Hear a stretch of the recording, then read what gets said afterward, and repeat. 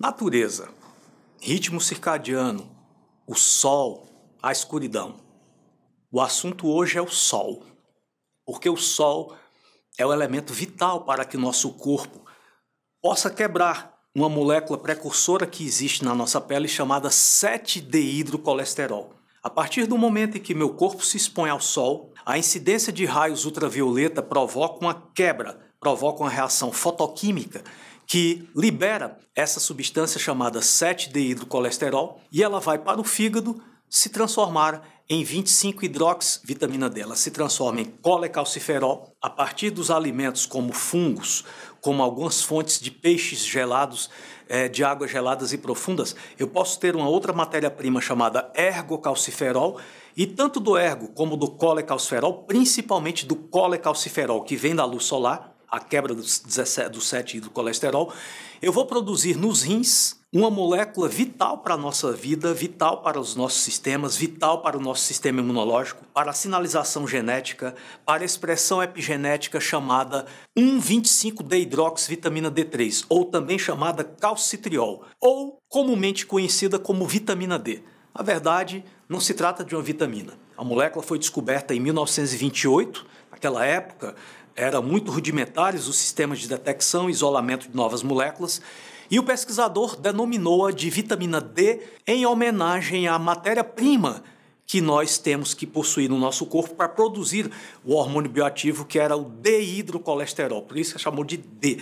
Mas hoje nós sabemos que a vitamina D é um hormônio esteroide. Ele é produzido, esse hormônio, na mesma cascata da testosterona, do estradiol, da progesterona, do cortisol, da aldosterona, é um hormônio esteroide que controla no corpo humano mais de 3.500 genes. O hormônio D ele é fundamental para controle de resposta do sistema imunológico, para a tolerância do sistema imunológico, para a produção de antibióticos naturais que são chamados catalecidinas. São moléculas que destroem microorganismos invasores como vírus, bactérias ou parasitas. A vitamina D é fundamental para o metabolismo da glicose, porque controla a produção pancreática de insulina. O hormônio D é fundamental para o desenvolvimento neuronal, principalmente no primeiro trimestre da gravidez.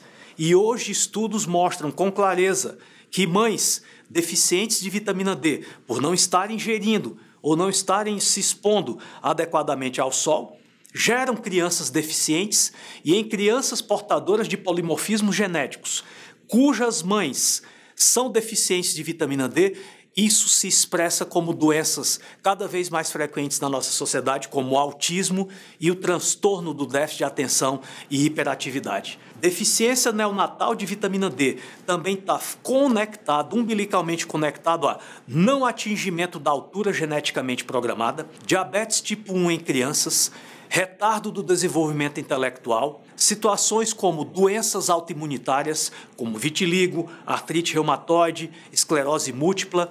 A deficiência de hormônio D é um fator de base para desenvolvimento celular anômalo, portanto, Pessoas que vivem com deficiência de vitamina D são muito mais propensas a neoplasias, muito mais propensas ao câncer. O hormônio D é fundamental para a proteção do endotélio, a camada interna que reveste as nossas artérias. E estudos demonstram que deficiência de vitamina D pode ser um dos mais importantes fatores promotores de aterosclerose, obstrução arterial e infarto, doenças vasculares como AVC, isquêmico, hemorrágico.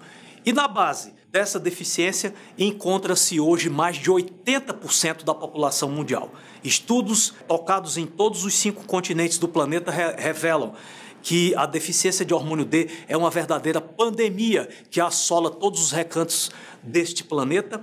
E mais impressionante, a deficiência de hormônio D é a principal causa evitável, modificável de doenças estúpidas e desnecessárias ao derredor de todo mundo, levando milhões de pessoas a morrerem de maneira completamente desnecessária e completamente evitável. E os estudos mais recentes demonstram uma coisa estarrecedora. Os governos dos países poderiam reduzir em pelo menos 50 a 70% os custos com tratamento de doenças se apenas, ao invés de antibióticos, ao invés de medicamentos, ao invés de anti-inflamatórios, e antidepressivos fornecessem gratuitamente às pessoas o seu estoque diário de vitamina D para que a população atingisse um nível sérico de pelo menos 50 nanogramas por decilitro, taxa considerada minimamente protetora para que essas pessoas pudessem reduzir as suas chances de desenvolverem tantas comorbidades.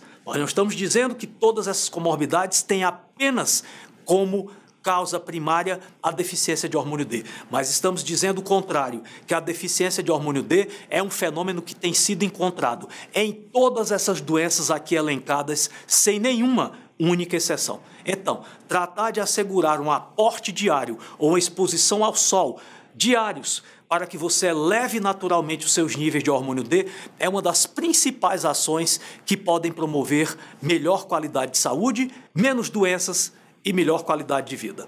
Muito obrigado.